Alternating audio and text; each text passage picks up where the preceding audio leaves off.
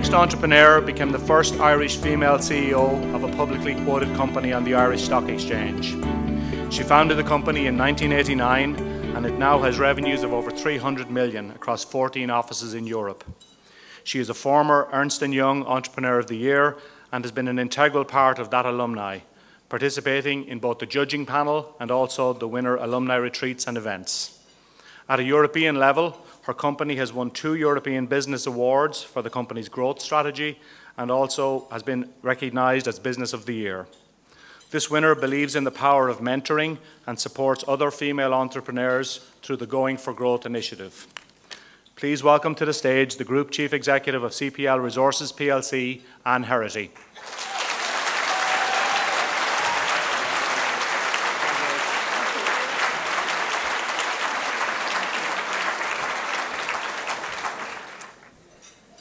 Good evening. It's a pleasure to be here with you this evening. And I'm delighted to be part of celebrating the terrific women who are being honoured here. I have to say, I loved this event last year and I met so many fantastic people. It's great to be involved with WXN. It's an excellent organisation. And I have to say, well done to Pamela and her team. And thank you for such a fantastic evening.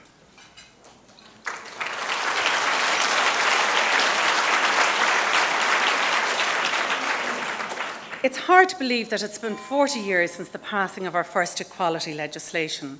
And I see the Irish Times are running a series this week on women in the workplace to mark the occasion. Well, I'm very encouraged that we've come a long way, but I'm sure you'll all agree that there's still a little bit more to do. I left secondary school in 1978, and from my class of 50 girls, only three of us went to university. And my daughter Amy is com completing her Leaving Cert this year, and in an all girls school, and over 95% of her class will go on to third level. So, in the last 40 years, women have made great progress, both in terms of education and the workplace. But I think it's really up to us here now to drive the further changes that are needed so that the skills of all women and their talents can be fully utilised and rewarded. So here we are at WXN 2013 and I've been asked to share a few words with you. And when Pamela asked me first, I thought, in the name of God, what am I going to say to these very successful women? You certainly don't need any advice from me anyway, and that's for sure. But I thought what maybe I could do was share with you a little bit about my story, some of the lessons I've learned along the way, and I suppose what sustained me and kept me going. Now, everyone in this room has their own ambitions, and everyone in this room has their own definition of success. For me, success is defined by doing a job I absolutely love, but by balancing that with strong and loving relationships in my wider life. I think so success, like so much in life, cannot be easily measured. For some, it might be your pay scale, your position on the career ladder, or indeed the height of your heels. It's a very individual thing.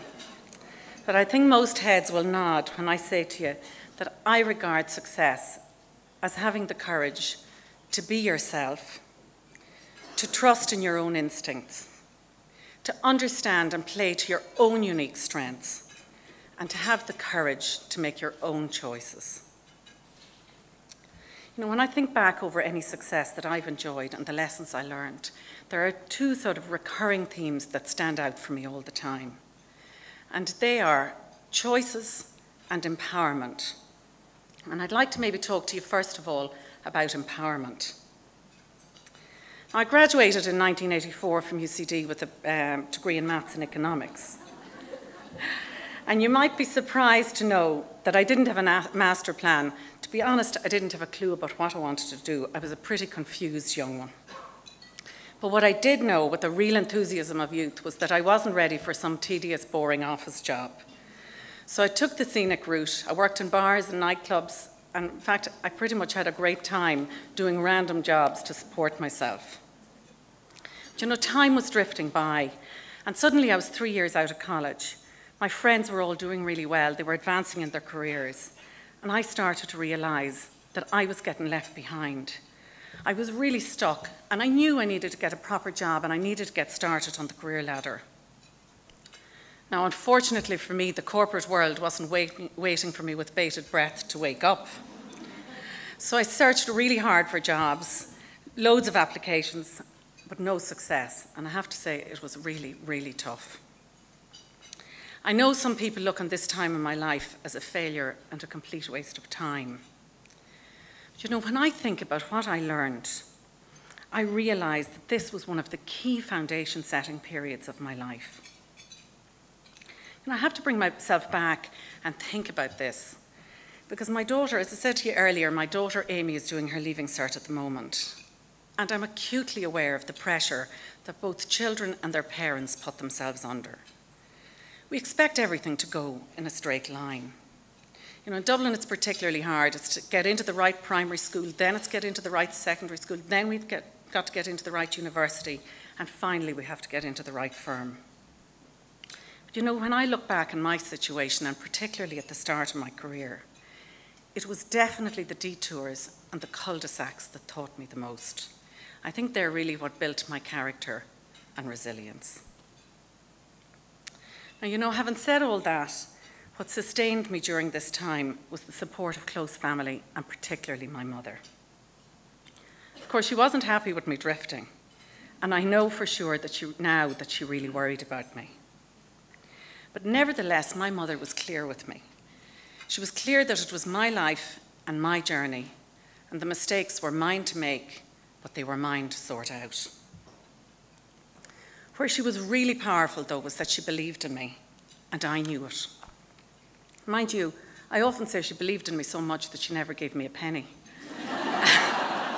and I knew better than to ask, I can tell you but rather she trusted in me to make my own choices and believed in me to make the best of my life. And that to me is the very definition of empowerment. It's no coincidence then that empowerment is one of the core values of CPL. I believe that deep down, empowerment is about connecting to your own innate, infinite power and energy. It's about being the best every day for the sheer personal challenge and joy of doing it. You know, one of the things I have noticed is the people who really make it in life are not afraid of failure. They are those who try hardest to be the best that they possibly can be, just for the delight and personal satisfaction of rising above a challenge. Failure, after all, is a myth. There is no such thing. I mean, no such thing. And Mary Pickford, the actress from the silent movie era, said it so well. Failure is not the falling down. Failure is the staying down. What I took from these early experiences was the realization that success and failure are two sides of the same coin. Success sets the next challenge, and failure, well, failure also sets the next challenge. They are both just experiences, but they are not, nor can they ever be, a measure of a person's true worth and capability.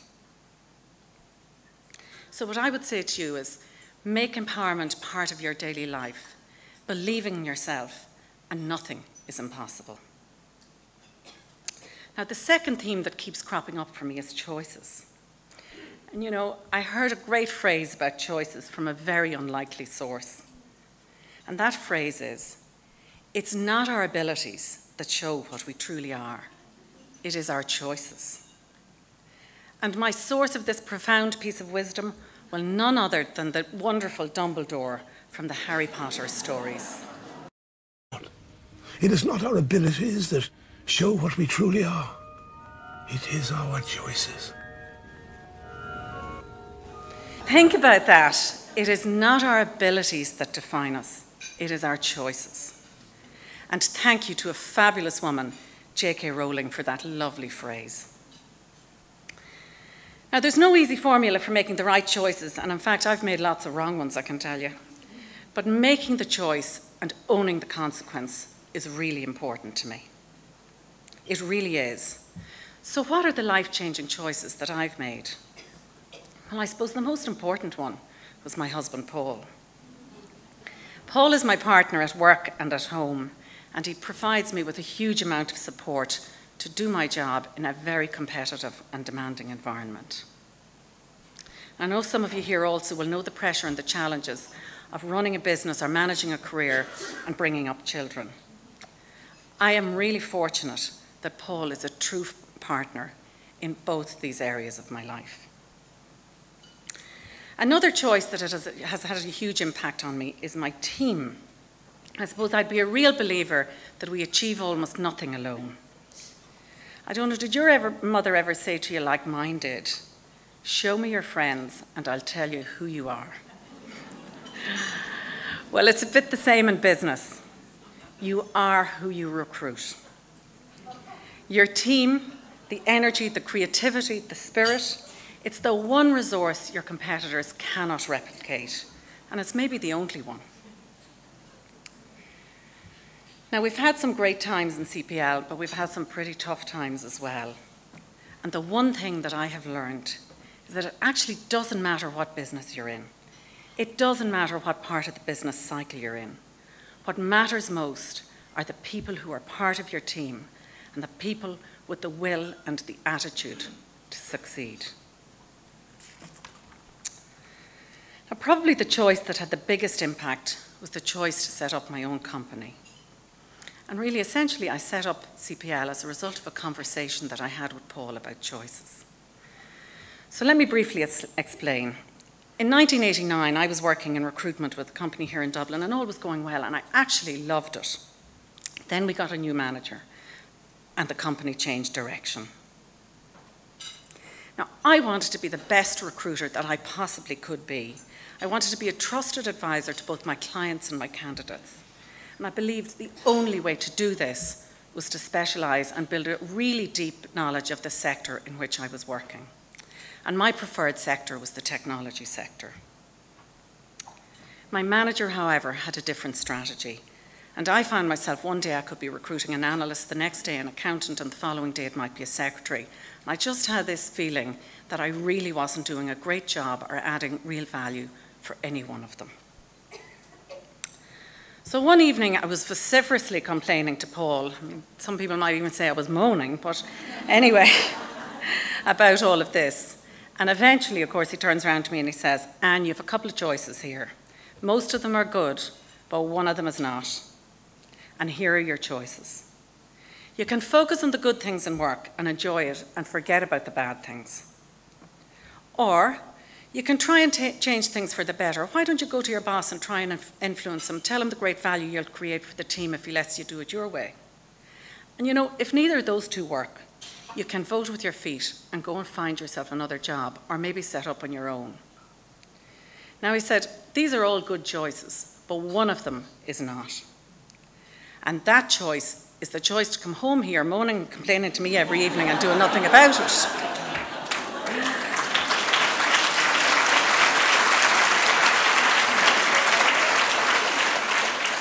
Well, I have to say, the words of Pam Ayres when she was talking about husbands came to mind. And she said, I often wonder what it must be like to be so strong, infallible, articulate, self confident, and wrong.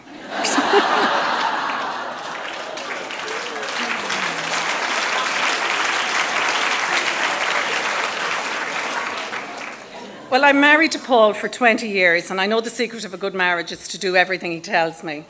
So, on this occasion, Paul was right, and I took his advice. And two months later, Computer Placement was born as a boutique rec- recruitment company specialising in the technology sector.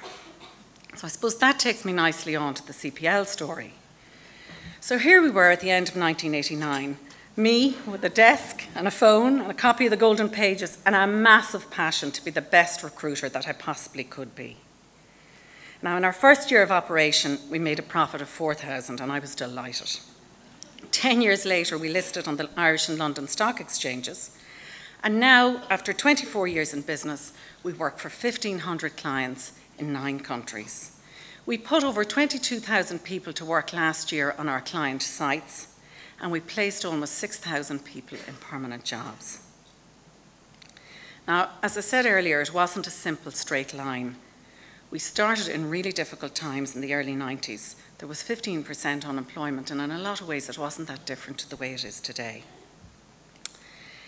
Just after our IPO, then, of course, we had the dot com crash, and here we were, a specialist technology recruitment company in a sector that was literally on its knees. It was at this juncture that my mother offered a piece of that Irish mammy advice. Well, now, you did put all your eggs in one basket, dear, didn't you? What did you think was going to happen? Mm. So, myself and the team got together and we worked out a strategy about how we were going to build a more resilient business. We determined that our business would be balanced. We'd have no over reliance on any one sector, on any single client, on any single geography, or any one service. And we slowly but surely built back up the business until 2008. And we all know what happened then. it just seemed like the whole world was collapsing. You couldn't throw worse at a recruitment company than what we got. But you know, we took our hits, and thankfully we've built back up again. I believe CPL is a stronger than ever business now, and as well as that, we now have added a full outsourcing business, so we have an outsourcing and a recruitment business. So, no, it definitely hasn't been a straight line. I've had to make some tough choices. You know, thankfully, most were in the right direction. I'm not afraid to tell you either that I've made some pretty poor choices, and there are definitely a few I'd like to consider, or I'd like to reconsider.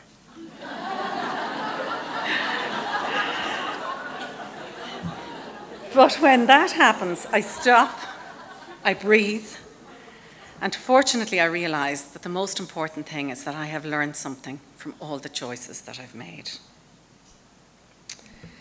So when I'm talking about so when I'm talking about empowerment and choices, there are no silver bullets, no shortcuts, no Dr. Phil seven things that are going to transform your life, your job, your relationship, your waistline. It's just empowerment and choices. Now, I'm well aware how fortunate I am to be standing here this evening in such wonderful company. I'd like to thank my team, um, I'd like to thank my family, Paul, Amy, and Peter, my CPL team of exceptionally talented, committed, and supportive people.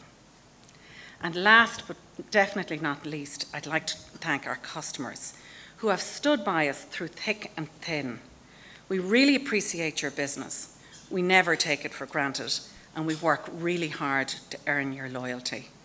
And I just want to thank you most sincerely. Now, I'd like to finish with a little story that I love, and it's about Nicola Paganini, the great violinist. He was about to perform before a packed opera house, and he walked onto stage, and suddenly he realized that he'd taken the wrong violin with him. Realizing that he had no other choice, he began to play and he poured his heart and soul into the performance. The audience gave him a standing ovation, and everyone agreed that it was the performance of a lifetime. That night, Paganini was interviewed, and he said, Today I learned a most important lesson of my career. Before today, I thought the music was in the violin. Today I learned the music is in me, and it's in you. Thank you very much.